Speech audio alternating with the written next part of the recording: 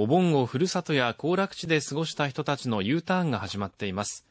東北新幹線の上りは午後にも混雑のピークを迎える見通しです。午前10時ごろの JR 仙台駅です。大きな荷物を持った家族連れの姿が多く見られました。プールに行ったりスイカ割りとかしました。楽しかったです